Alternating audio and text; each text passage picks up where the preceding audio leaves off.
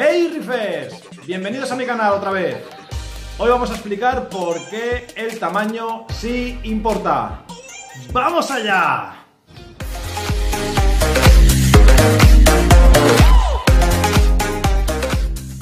Buenas, pues como bien dice el título, el tamaño en acuariofilia, sobre todo en acuariofilia marina, sí importa. Y hoy vamos a explicar el por qué. En este hobby, como se suele decir, cuanto más aburrido sea respecto a parámetros, mucho mejor para el acuario.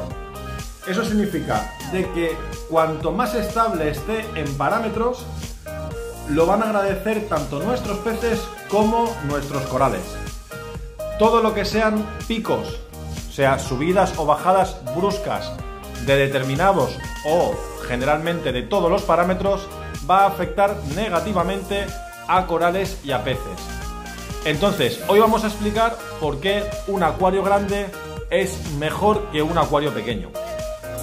Ahora me diréis, bueno, pues esto con un autorrellenador se soluciona.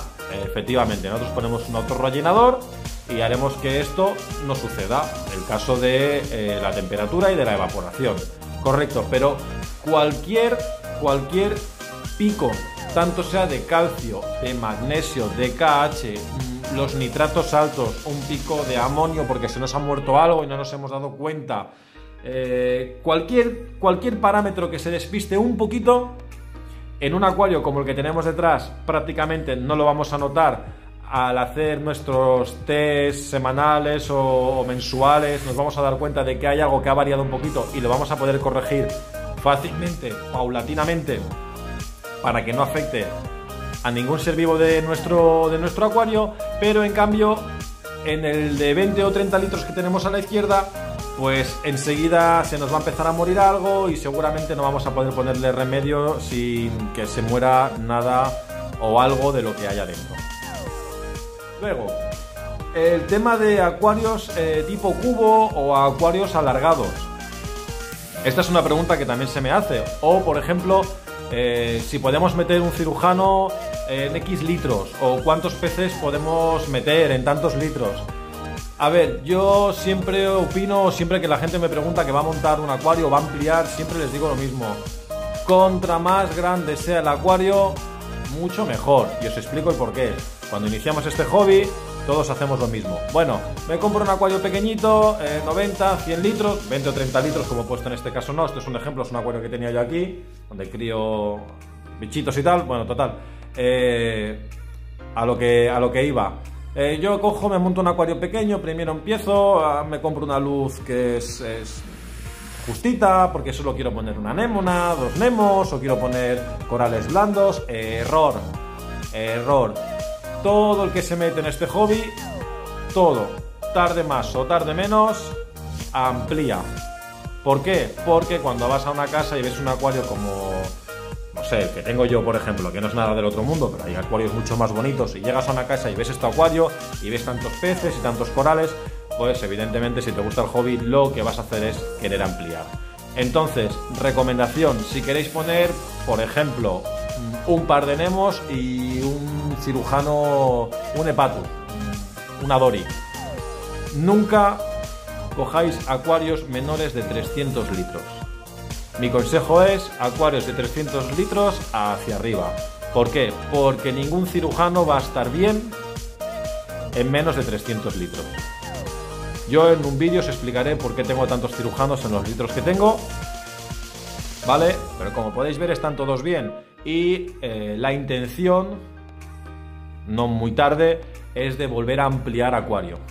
Entonces los tengo, los mantengo, pero la intención es esa. Si no pudiera ampliar por lo que fuese, pues bueno, seguramente nos desharíamos de los, de los peces más grandes y nos quedaríamos con los más pequeños. Vale, hay que ser consecuente, estos animales vienen del mar y lo que no tenemos que hacer es meterlos en un acuario que no es adecuado para que ese animal sufra y acabe muriendo de punto blanco, agonizando por exceso de calor, por, no poder nadar, son peces que nadan mucho.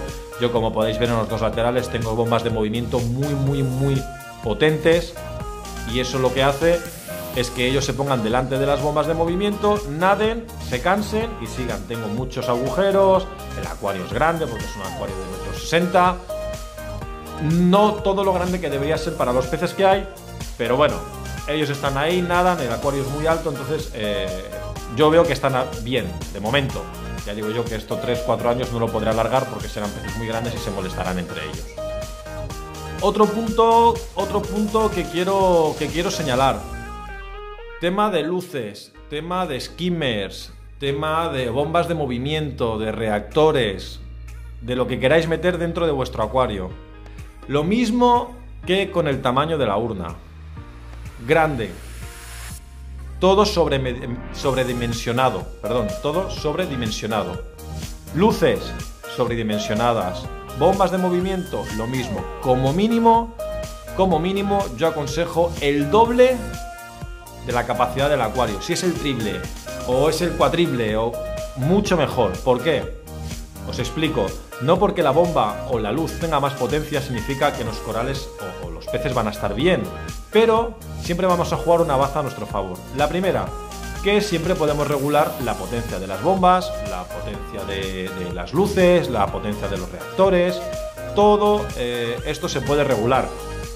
Entonces, si nosotros en vez de tener unas luces al 100% las tenemos al 40%, pues esa luz va a durar mucho más tiempo y va a estar eh, menos forzada, igual que las bombas de movimiento, igual que los reactores, igual que, que el skimmer. Si el skimmer está sobredimensionado, ¿vale? Ese skimmer va a trabajar poco, va a sacar mucha más porquería, vamos a poder meter mucha más cantidad de peces y corales porque el skimmer va a dar abasto. Y esto nos va a servir porque si el día de mañana queremos ampliar todas estas cosas, nos van a valer. No vamos a gastar el dinero tontamente porque si os pongo un ejemplo, compramos un acuario de 100 litros, eh, lo tenemos un año o dos, vemos que el acuario se satura de peces, de corales, queremos ampliar compramos uno de 400 litros, por poner un ejemplo. Seguramente si las bombas, las luces, lo habéis comprado el skimmer, lo habéis comprado todo justito, no os va a valer y ese es dinero que habréis tirado a la basura. Y en este hobby todo es caro, ya sea el, de poca potencia o el de mucha potencia. Entonces es preferible ahorrar un poquito más y ponernos cosas de calidad y cosas sobredimensionadas. Nunca sabemos el día de mañana lo que puede pasar. Y que se nos pueda romper una bomba de movimiento, se nos pueda romper una luz o un skimmer porque lo llevamos forzando a tope bastante tiempo, eh, nos puede ocasionar de que bueno, pues tengamos que ir corriendo a buscarlo a la tienda, que lo tengan, eh, instalarlo y si no lo tienen, pues bueno, un rezar de que no nos pase nada en el acuario. Se me olvidaba, acuarios eh, cuadrados o acuarios rectangulares. Yo Sinceramente creo que lo mejor son acuarios rectangulares. Cuanto más largo es el acuario, mucho mejor para los peces. Pensad que los cirujanos son peces que nadan mucho. Los nemos, por ejemplo, en este caso no, son peces que 20, 30, 40 centímetros alrededor de donde estén eh, posados.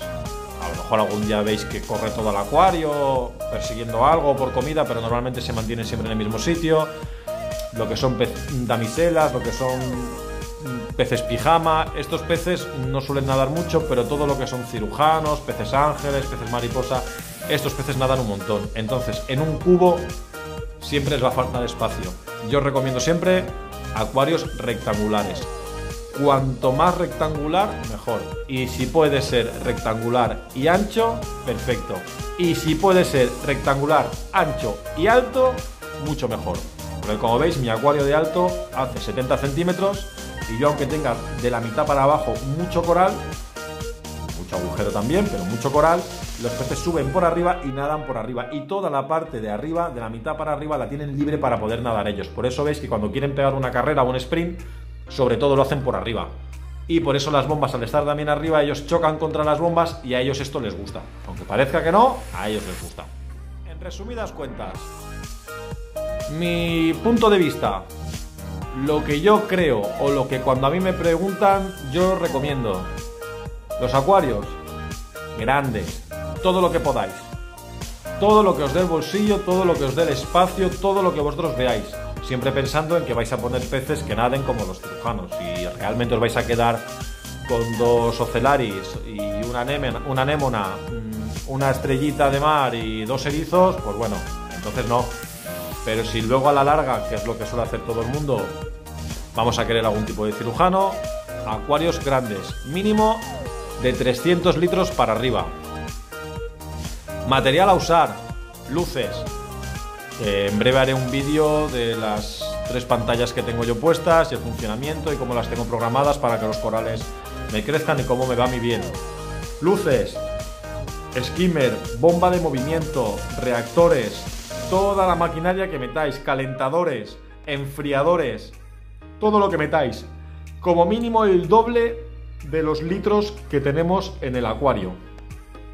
O del acuario y el sub, en este caso. Siempre sobredimensionado. Esto os va a hacer alargar la vida de todo el material y os va a poder servir si al día de mañana queréis ampliar, pues que tengáis el material ahí para poder empezar y no tener que volver a hacer un desembolso tan bestia como es el inicio de un acuario. Y hasta aquí el vídeo de hoy. Espero que os haya gustado, que os sirva para si tenéis idea de ampliar o de empezar con un marino o de cómo tenéis el vuestro. Eh, si os ha gustado, darle like. Y si os ha gustado mucho, suscribiros. ¡Hasta luego!